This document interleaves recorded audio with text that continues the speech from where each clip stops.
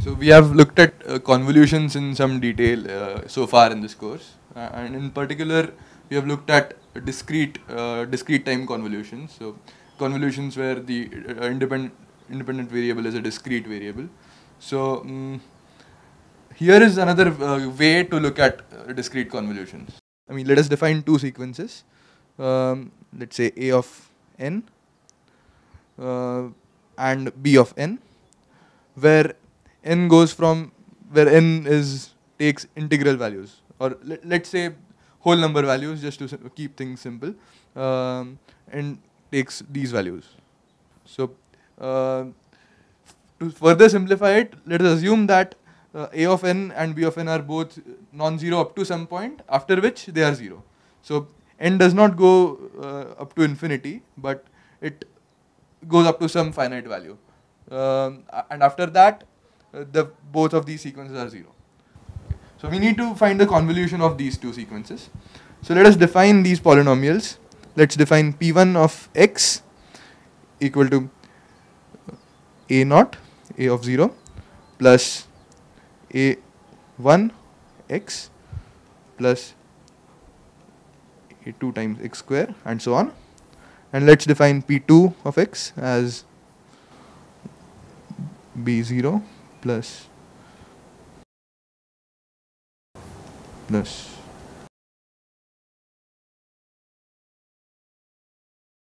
Okay. So uh, now let us look at what happens when when you multiply uh, these two polynomials.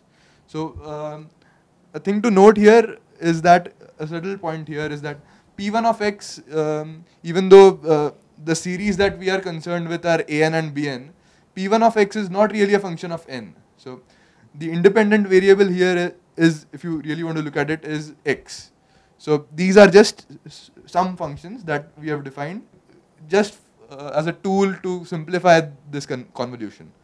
So uh, x is not really the variable that we are concerned about, but it is the independent variable in these two definitions. So now let's uh, multiply these two polynomials.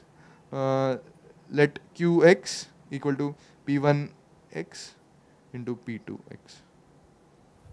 So this is just a simple multiplication of two functions. So this is not a convolution, but let's see what happens when you do it.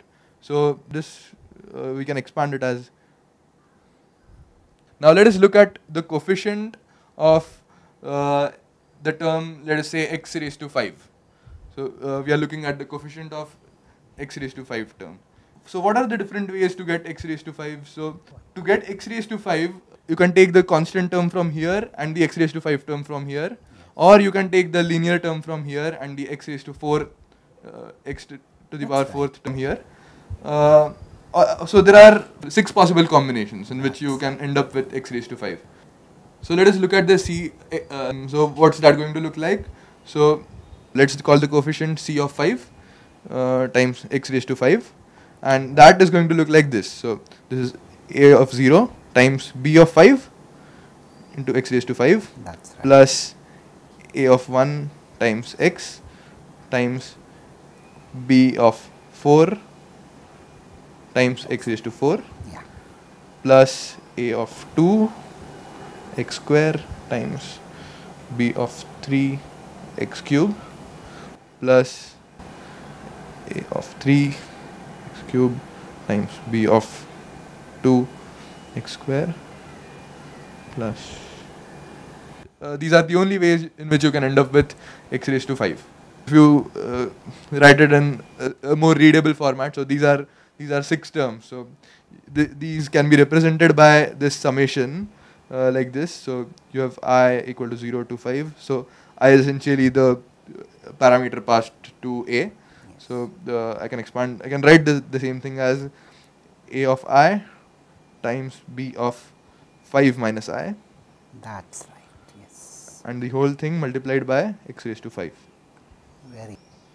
So essentially, uh, what we have done is so we have defined c of 5 to be the summation going from i equal to 0 to 5 a of i into b of 5 minus i. So in general, if you look at the uh, coefficient of x raised to n, it looks like something like this.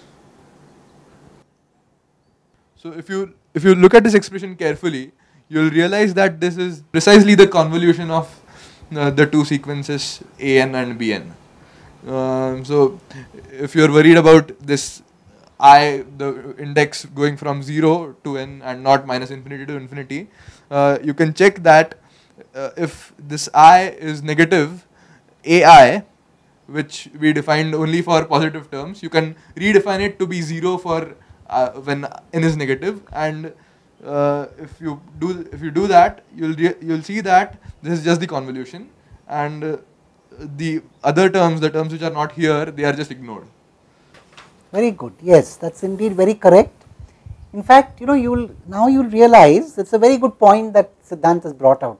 Because what he's shown is that what we do so frequently in high school math multiplying two polynomials is essentially an instance of discrete convolution is a very beautiful observation. I am sure all of you must have enjoyed this.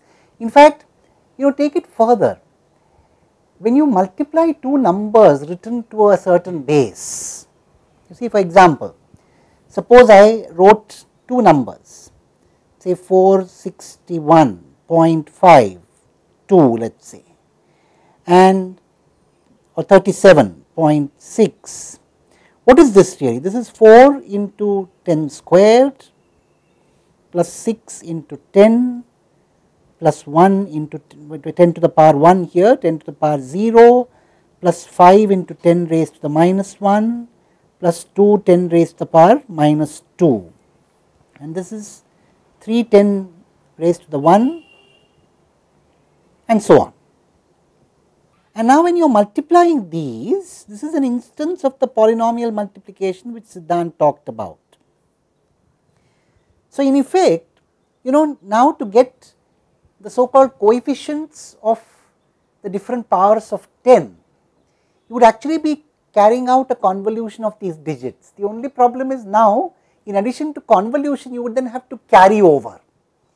You know, so this is an instance where you multiply two numbers to a given base, you first need to do a convolution of the digits and then you need to carry over because some of those products would give you a quantity more than 10, 10 or more than 10 and then you need to carry you know. So, that is a very interesting observation. In fact, Siddhant has in some sense already given you an exposure to what we are going to do in module 4. There we are going to talk about the Z transform and the Z transform we are actually you, you will see. Now remember you know if some of you do module 4, if you do the second course you should try and keep this observation of Siddhant in mind and try and relate it to what we are doing in the Z transform there. So, it is very interesting, but for now even the observation in its own right that polynomial multiplication is essentially an instance of convolution is very useful to understand convolution and we must definitely appreciate Siddhant for having done a very good job in bringing this up. Thank you Siddhant. Are there any other points that you want to discuss now? So, so uh, for, also, yeah. for those of you who are interested in computer science, so uh, there's an algorithm which can do convolution in uh, less time than it takes to actually find evaluate the, these points. So uh, there, there are algorithms uh, for so if you want to multiply two n n uh, two sequences of length n, so there are algorithms that can do it in time n log n instead of uh, the usual way which would take n square. So uh, this this is really interesting and so you would expect that if you have to multiply two numbers e each of length n uh, each having n digits you would take n square time right? So you have to multiply each digit by each digit in one number by the every other number. pair, every pair every of pair of digits. So uh, you don't actually have to do this. So there are algorithms to do that. And we, we won't study those algorithms but uh, we will I mean, you will get a flavor of, how the algorithm. Perhaps you know if so, if some of you look at something called the fast Fourier transform, it would give you a flavor of this. And you know, you can do the fast. Of course, this is a little beyond the scope of this discussion, but I'm just mentioning it for those of you who might have some interest. Very good. That's a very good observation. So you could have efficient algorithms for convolution. That's a well-studied theme. Very good. So I think we'll conclude the discussion here. We look forward to your reactions on this. The whole idea of these discussions is to evoke reactions from you as well. Thank you so much. Thank you.